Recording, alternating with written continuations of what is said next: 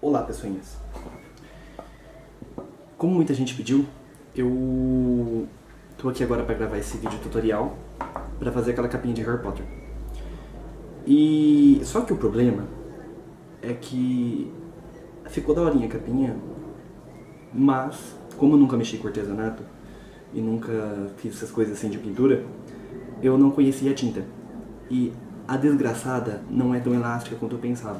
E ela tá descascando. Tá vendo? Então, eu vou ensinar vocês a fazer esse efeito que eu fiz aqui. E por favor, achem uma tinta decente por aí, com essas cores que eu vou passar pra vocês. Eu vou fazer numa caixinha de madeira. Que ela é feita pra isso mesmo, essa tinta. Então, depois vocês pegam uma tinta mais elástica e façam com, com ela na capinha pra dar certo. Muito barulho porque o meu quarto é pertinho da rua e eu tô gravando aqui com a janela aberta, então vai ficar bem barulhento. As tintas que eu tô usando é, é tudo PVA, ó, é tinta para artesanato. Essa primeira aqui é azul noite. Vocês podem usar a tinta que vocês quiserem, mas contanto que seja um azul bem forte, que esse aqui vai ser a base. Esse cintilante deu certinho porque ele, além de tudo, ele tem uns brilhinhos no meio, ficou uma dalinha. E essa segunda aqui é um azul marinho. É um azul meio petróleo. E a terceira tinta é o violeta, PVA também. Tem mais duas tintinhas que eu usei aqui, que são tinta para tecido. Eu usei porque eu queria dar aquele efeitinho final que ficou na capinha. Desse daqui e escurecer um pouco mais aqui em volta. Então eu usei essas duas aqui, é preto e branco. Pincel. Não, pera. Espuma. Esponja de lavar louça, sabe? Essa aqui tá suja porque eu usei ontem. E spray para invernizar no final. Verniz em spray. Vamos começar. Gente, a primeira coisa que eu fiz foi pintar ela inteirinha com aquela cor mais forte. Que é o azul mais forte que eu falei pra vocês. Eu nunca mexi com artesanato. Então se vocês verem eu como um ogro aqui pintando as coisas, ignorem.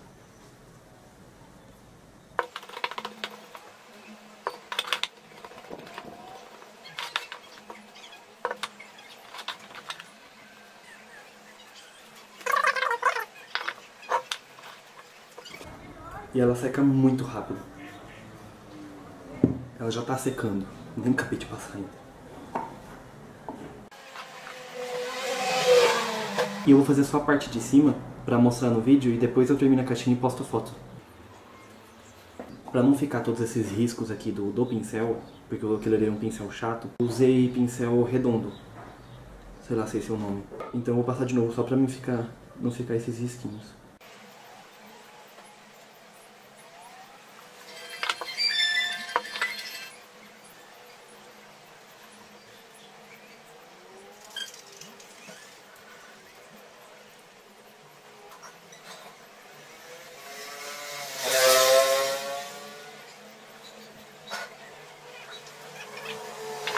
Tá assim, e agora eu só vou esperar secar.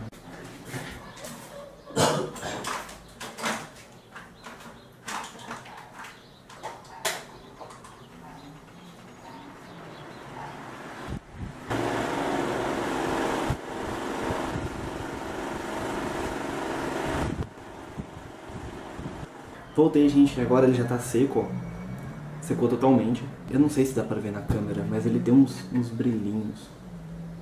Então esse aqui parece... Não sei se vai dar pra pegar. Fica da hora porque aparece as estrelas à noite mesmo no céu. Agora vem a parte da espuma. O que eu fiz? Eu peguei essa tinta aqui, ó. Essa tinta...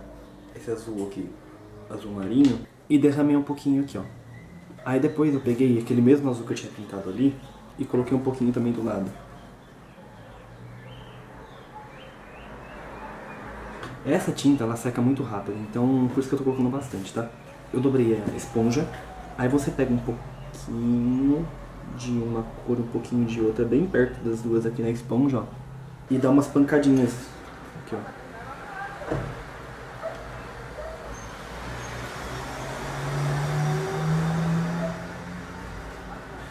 Aí quando você vê que tá ficando muito azul de uma cor só, ficando, não tá ficando distribuído, você pega o azul de fundo e começa a passar por cima, para tampar um pouco. Tá vendo? Tá gravando essa porra, velho? Eu vou batendo. Até ficar com essas manchas de azul mais claras, mais escuro. Que nem, ó, aqui eu bati de propósito, tá vendo que ficou muito azul forte?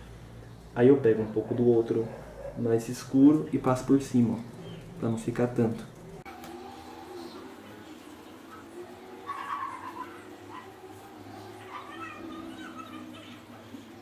Mas sem ficar manchado, isso que é o legal. Coloco um pouco do roxo também. Ó. Ó. O roxo você não pega muito não, porque ele é uma cor meio que tipo, bastante diferente né, das outras, então vai ficar muito forte. E pode passar, mas nos cantos assim.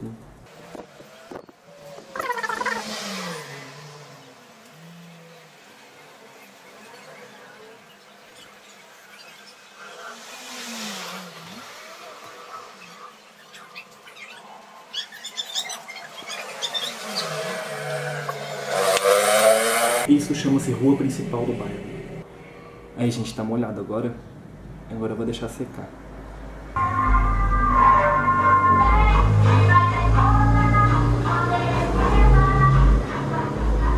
Enquanto seca, a gente vai fazer o molde para conseguir fazer aquele, aquele símbolo das relíquias da morte em cima da caixa. Aquele, gente, aqui ó, eu fiz por, por partes. O triângulo de fora eu fiz separado, o risco da, do meio eu fiz separado e a pedra, o círculo eu fiz separado também. Na verdade o círculo foi separado duas vezes ainda. Para fazer o molde, eu peguei uma folha bem dura, uma folha preta que eu tenho aqui em casa, que eu vou cortar ela no formato daquelas coisas lá, com um estilete. Não existe estilete sem ponta. Então eu não vou dar recomendações para as crianças do vídeo aqui. O da capinha eu fiz com 4 centímetros, eu fiz com 4 centímetros e meio. Porque era o tamanho aqui para dar certinho. Só que como a caixinha é um pouco maior, eu vou fazer o símbolo para pegar ela inteira. Então eu vou fazer com com 7 centímetros. Para os desavisados, para os desavisados que faltaram a aula de matemática, um triângulo, a soma dos ângulos internos dele é 180. Então, se a gente traçar um risco assim, para fazer um triângulo perfeito, se a gente traçar um risco assim e medir 60 graus de abertura, é a abertura certinha para para fazer o triângulo equilátero certinho. Eu não sei se dá pra ver, mas é o triângulo esse aqui, se for pegar o brilho do sol.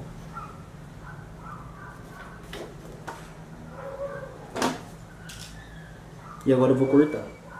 Mas não cortar o triângulo fora, pelo amor de Deus. Eu vou mostrar aqui, peraí. Gente, tá aqui cortado. Tá vendo que eu cortei só em volta? Isso aqui é propriamente pro papel, pra ele não, não escapar essa partinha aqui, por isso que eu deixei daquele jeito. Eu não medi a parte de dentro porque não é necessário medir. Eu, eu faço mais ou menos a olho porque vai ficar da hora se você deixar ele meio tortinho, que nem ficou aqui. Gente, eu cortei outro, porque agora que eu fui ver que eu sou um ogro, eu cortei isso aqui muito grosso, muito, muito largo as, as linhas dele. E quem quiser vir por Sedex isso aqui, porque eu vou usar esse daqui agora. Esse aqui ficou melhor. Aí, gente, eu pego a tinta branca. Eu cortei um pedacinho da espuma pra ficar mais fácil. Ó, pedacinho pequenininho. E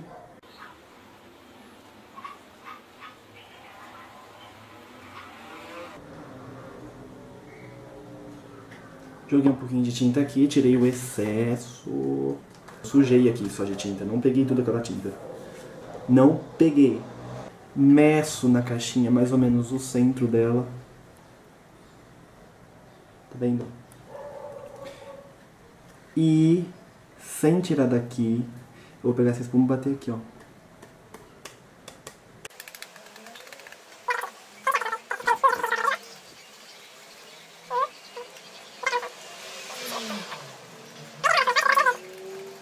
Tirando fica assim.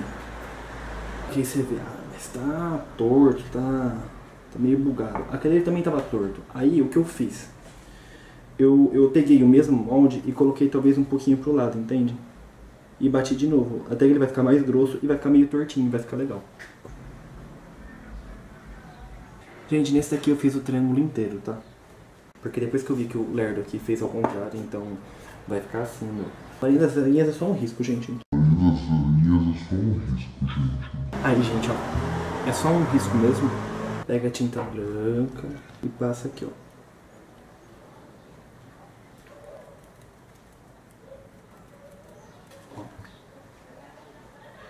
E agora o círculo é a parte infernal de fazer, porque você tem que fazer aqui, você tem que cortar. Eu fiz meio círculo primeiro, depois eu usei o mesmo molde, virei, né, e, e coloquei do outro lado. Habilidades professional no, no estilete pra cortar essa jossa, porque é uma tristeza pra cortar isso aqui. Você deixa esse povo, vai ver. Pra ficar mais fácil, é, eu recomendo riscar o triângulo que você fez num pedaço de papel que aí você vai ter noção de que tamanho que vai ser o círculo.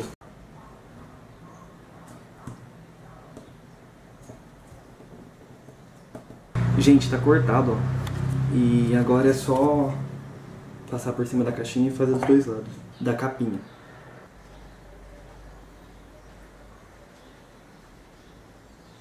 Aqui, ó,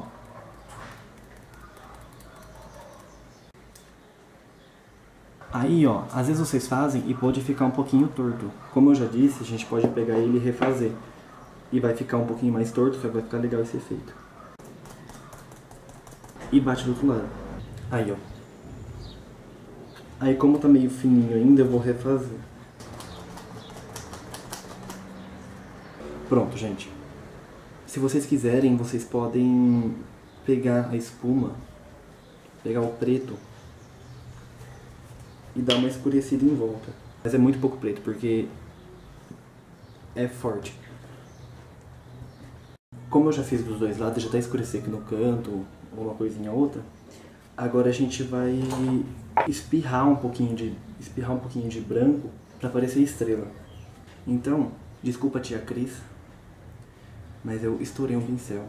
Eu queria um pincel menor, então eu peguei um que eu já tinha e eu cortei. Aí vocês vão sujar a mão um pouquinho agora. Vocês pegam um pouquinho do branco e põe o dedo assim e puxa, sabe? Pra espirrar um pouco.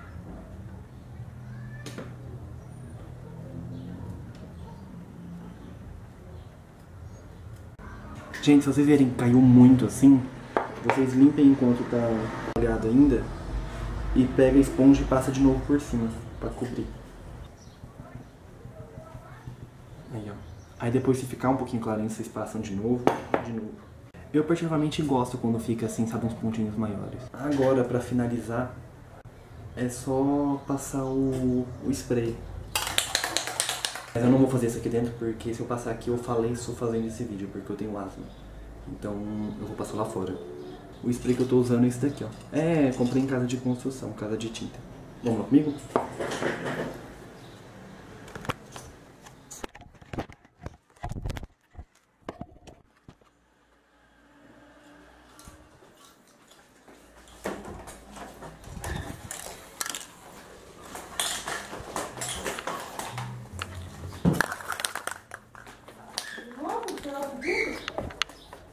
Tá gravando, sua linda.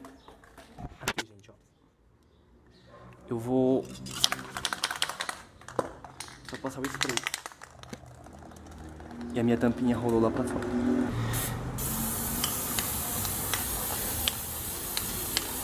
Eu passei bastante spray, porque aí ele ficou com uma capa bem brilhosa por cima.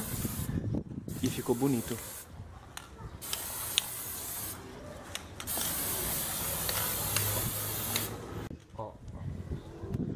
Enquanto tá bem brilhoso, tá vendo? Aí quando secar, ele vai ficar melhor.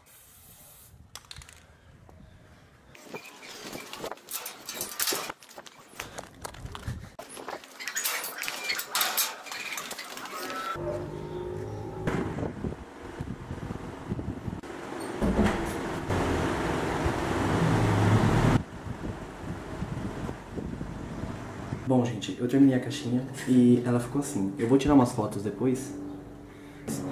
Ó. E ó, porque a capinha, né? Então chora. Espero que tenham gostado. Eu, eu gostei do que aconteceu aqui agora. E eu não vou falar pra vocês se inscreverem no meu canal, porque o meu canal não tem vídeo. Mas curtem, favoritem esse vídeo e passem pra frente porque. Porque sim. Porque sim. Então tchau e beijo pra liga. E sim, antes que perguntem, eu tô com raiva dessa capinha ter estourado. Eu não sabia que ia acontecer isso. Pausa pra mostrar meu estojo da Verlinco.